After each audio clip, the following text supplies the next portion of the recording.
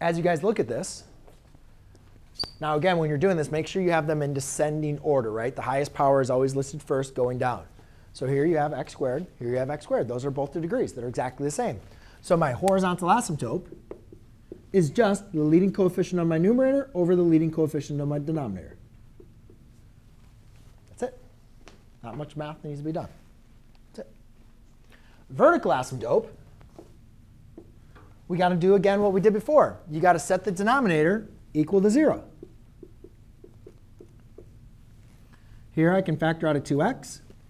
Um, oh, now should I double check to make sure I don't have a asymptote here? I should probably factor these, right, just to make sure. So if I factor out a, actually, you know what? I'm going to come, I'll come back to this. Let's solve this first, because that's a little bit easier, a little bit more difficult to factor. So now I can say x is equal to 0 and x is equal to 1. Okay, but I'm going to verify this because I want to ver I want to double check that not that one of these is not a factor of that. So I'm going to do that next when I find the x-intercept, right? Because the x-intercept, you just set the numerator equal to 0.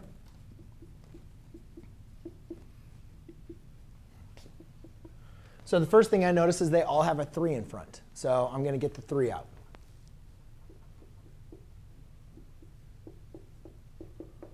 And then I look to factor this to make sure that one of these asymptotes is not a hole. And then I realize that, uh-oh, I have a problem. This isn't factorable. Crap.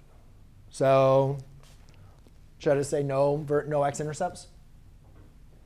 Should I just write no x-intercepts? Not factorable. No? Does it kind of sound like I'm trying to trick you? Yeah, because I am. Just because something's non-factorable doesn't mean it's non-solvable. No, if it's non-factorable and we need to solve a quadratic, then that means we need to apply the quadratic formula. Should I use this one or this one? It doesn't matter. Um, I would say that using this quadratic is easier. This 3 is just a scalar. So I would just divide it out. Okay, get rid of it. It's just a scalar. It's not going to affect the zeros. So the quadratic formula, x is equal to opposite of b plus or minus square roots of b squared minus 4 times a times c. Now, hopefully, at this stage in the game, you can do a little mental math. Negative 1 squared is 1. OK, I'm just going to hold that up, negative 1. Negative 4 times 1 times negative 1 is going to be a positive 4. OK, 4 plus 1 is 5.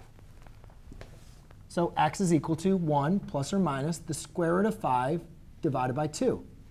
Is that a real number?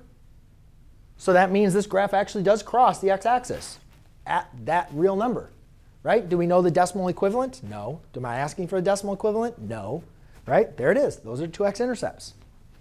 Now let's do the y-intercept, and let's hope that these that's going to be as easier.